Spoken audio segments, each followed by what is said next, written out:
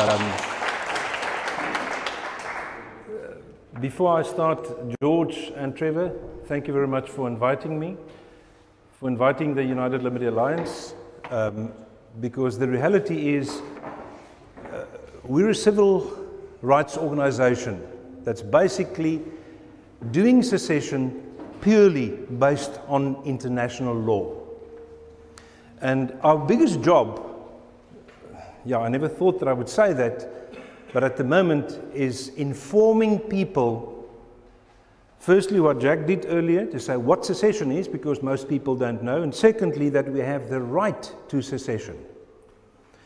And it's very sad that, in terms of secession, which is not only our South African right, but also our international right, people don't realize it. People still ask the same questions over and over um, because they don't think that you may have it. Um, Ivo that asked earlier, Jack, do you have a, an army to defend yourselves? Hein, do you have an army? Um, I want to actually start off with that, Ivo. Firstly, you may not have an army. While you are busy, like the Cape Party or the United Liberty Alliance in Afrikaans Verenigde Vryheidsalliansie, you English people, that's exactly the same as United Liberty Alliance. Um, you may not form an army. Of course, you may form civil defense groups. That's also international law. That's a basic human right, but you may not form an army. In fact, Article 199 of the South African Constitution forbids you to form an army. And because I'm basically going to talk about succeeding in secession. Jack put the foundation perfect. Uh, he, he actually helped me not spending time on that, thank you. So I'll talk about the law. What does it mean to succeed in secession? It's got a couple of legs, but the one leg is the very important legal position. Legally, it's not only your right, but the most important of succeeding in secession is that you want to want it. What is the will of the people? For a political party, the will of the people are votes to say, I want Jack Miller in Parliament, or the Cape Party, or Karen, or whoever you want in Parliament. In terms of secession, it's irrelevant which party you belong to, totally irrelevant which group you belong to, which whatever. You must say, I want secession. Again, there's a lot of legal stuff into that, but I want to start at the beginning. If you decide you want to secede, and there are two routes that you can take. You can either take the political route, or you can take the pure de jure process, the pure legal route, which that's what we are doing. We support the Cape Party, but we are taking the pure legal route. If you want to secede, you've got to obviously make yourself known. Who do you make yourself known to from a legal point of view? Believe it or not, not to the people that you want to secede with. You've got to legally make yourself known to the world the international community. Who's the international community? International community are basically defined as the embassies in your country. And believe it or not, it doesn't have to be all the, all the embassies, but the majority of the embassies in the country where you want to secede to. Because don't forget, and I will come back to this later again, secession was not written as a law for South Africa. Who can tell me who was the first country to successfully seceded? Who knows? You may not answer. 1776. Does it make sense? America. They were the first country to successfully seceded away from Britain. After that, I'm not sure the exact amount. I think we're standing at 253 countries that have successfully seceded. The last one was South Sudan. Now, not one of those 253, I'm not exactly about the, the amount of countries, not two of those countries did it in the same exact the same way. The reason why I say that is because when you want to secede, on the one hand, you must follow the legal route 100%. The legal prescription in terms of international law for secession. On the other hand, it's extremely flexible. No two countries are the same. Everything differs in each and every country.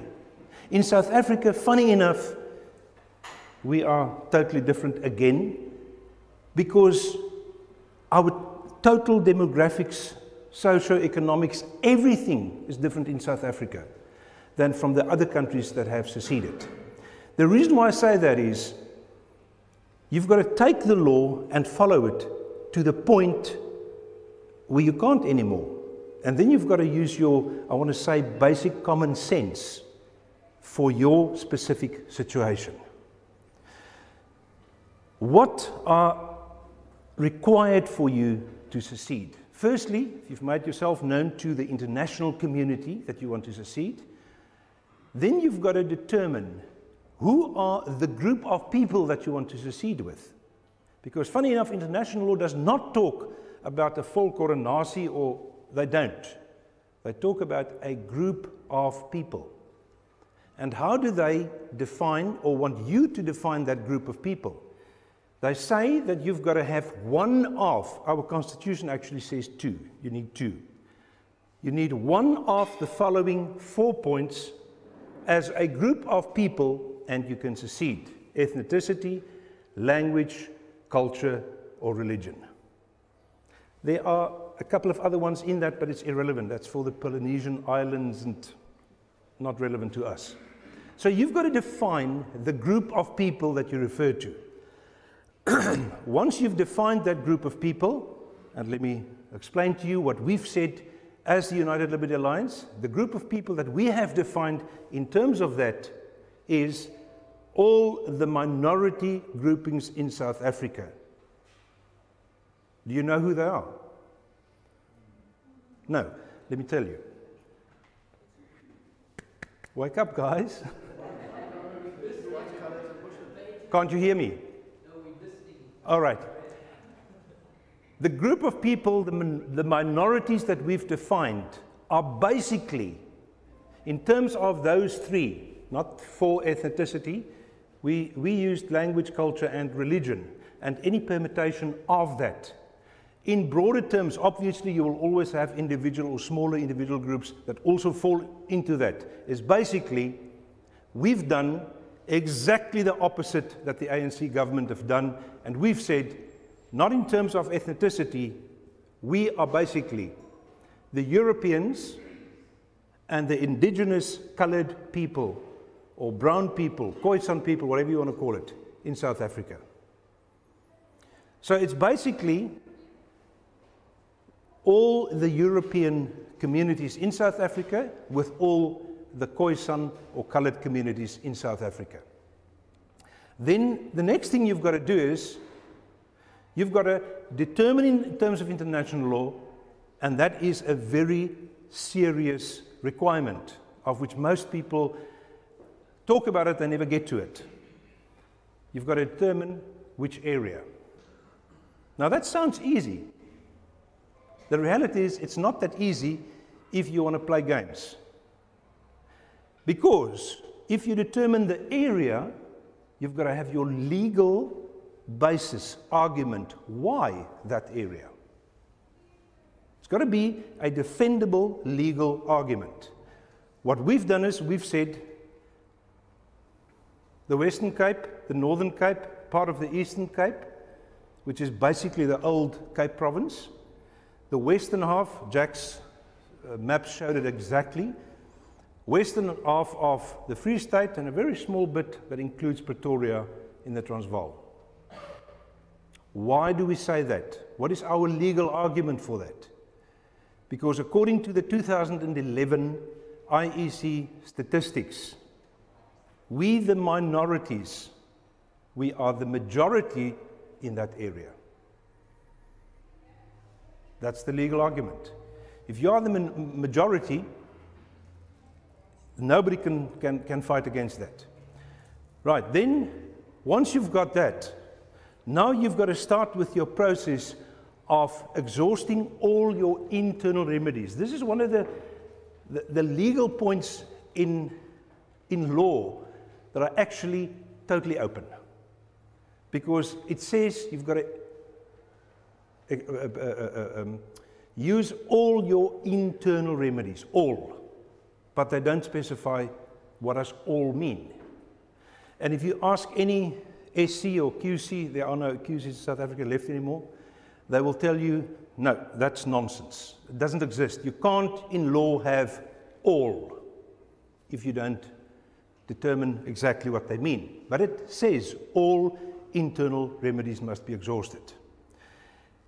At the end of the day, it actually means two things. Firstly, the law of secession was written for the, in this case, the minorities or for the group of people that are not happy with their, they call it mother country, to try and exhaust all different avenues. And if I say all, we are how many people here, and I can have so many different um, ideas of what this all means. It means all different things that you can think of, including taking them to court, uh, having meetings, writing letters, because everything comes back to the paperwork. You've got, got to talk to the government because that law was, in a way, actually written that they don't want you to secede. Although Article 1, which was the only law, thank you, Jack, for leaving that out for me.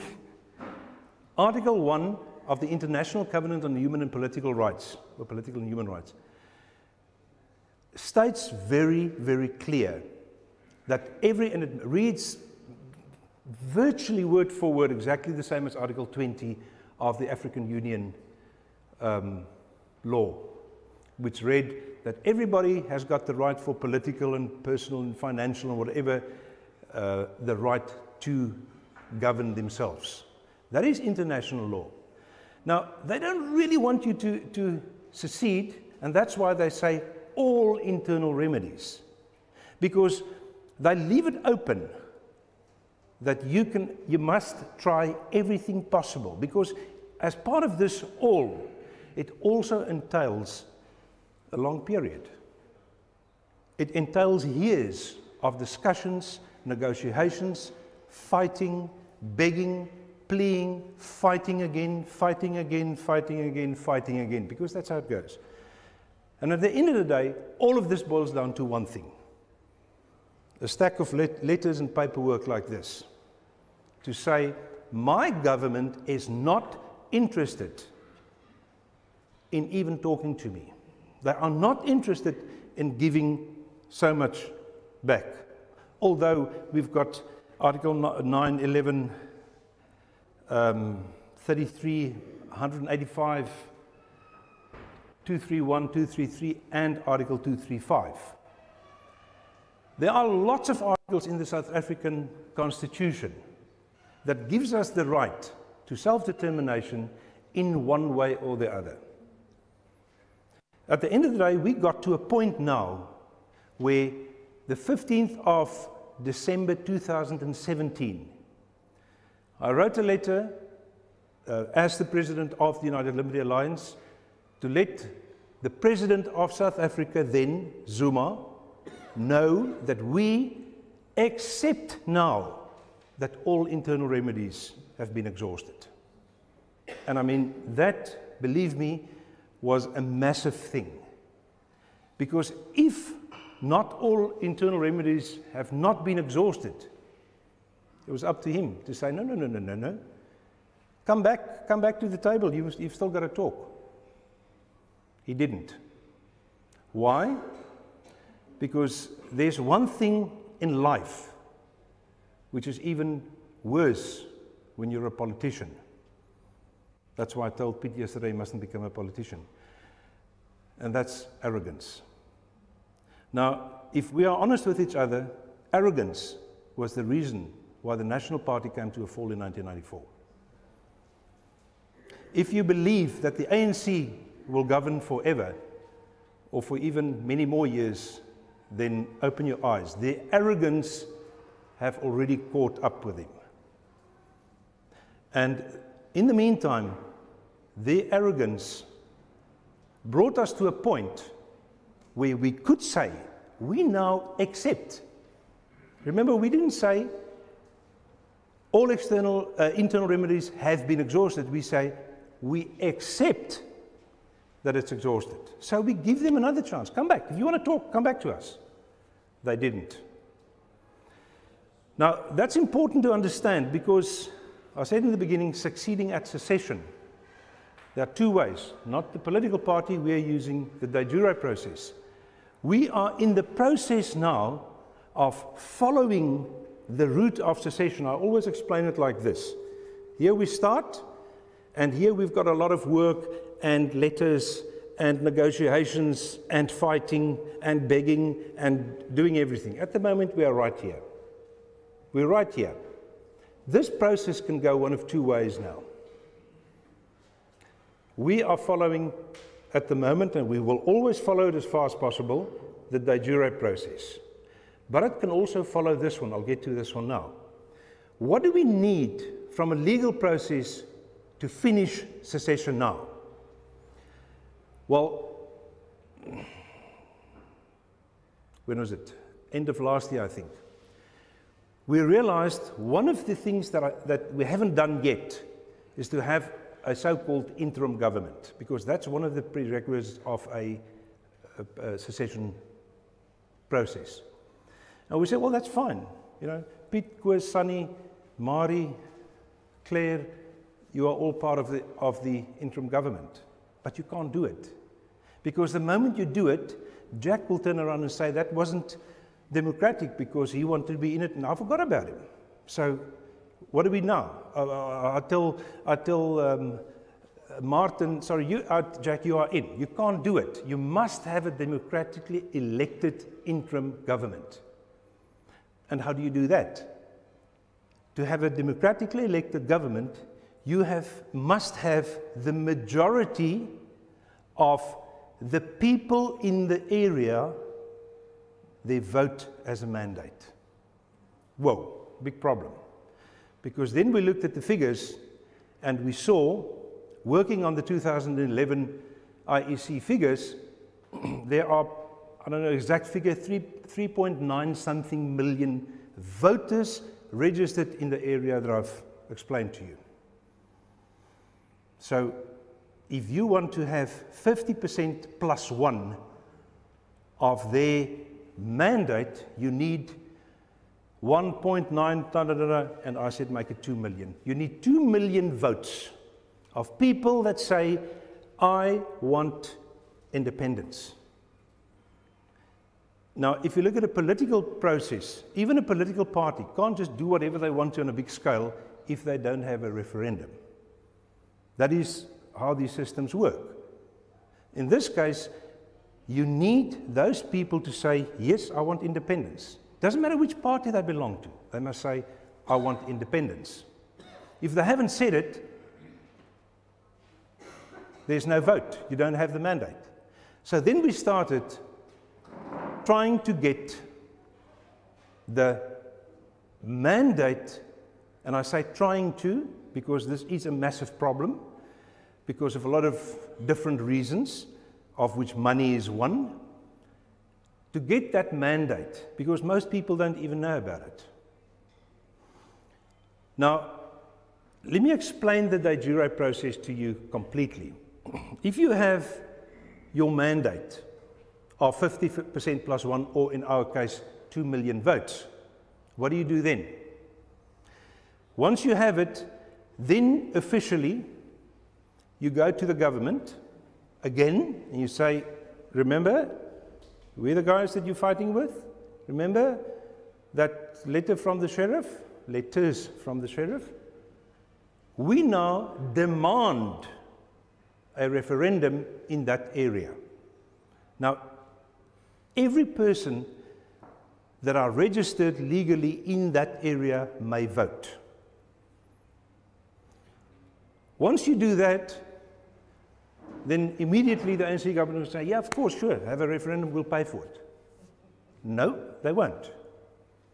But luckily, I don't know if they were guys with thick glasses, long hair, white shirts, but the guys that wrote secession had a lot of foresight.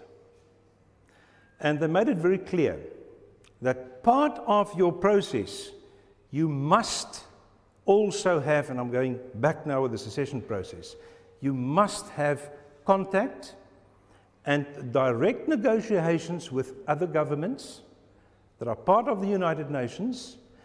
Funny enough, it does not say that you must have uh, direct contact with the United Nations. Some people say it, it's not true.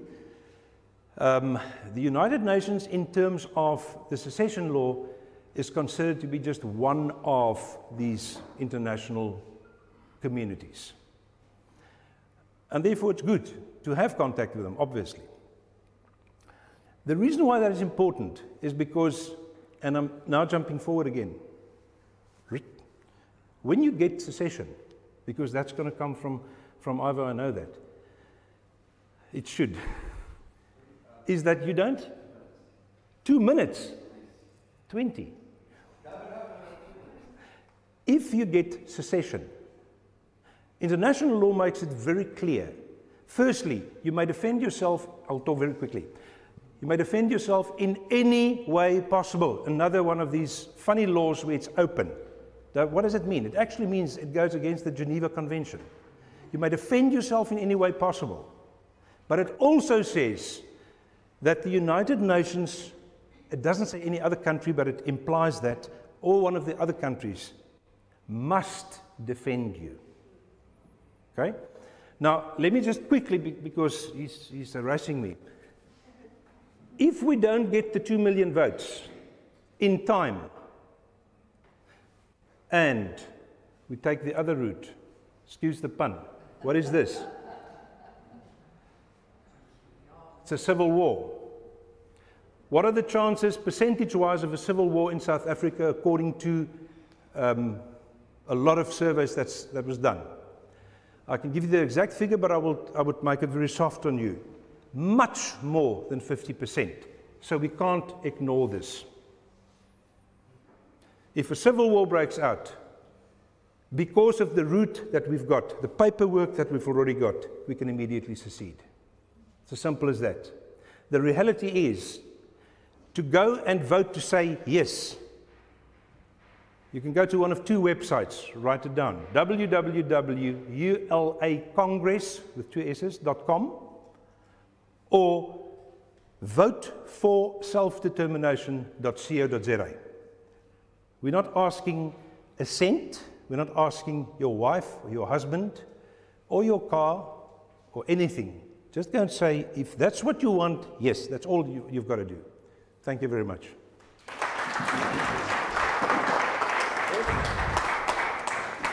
We're going a,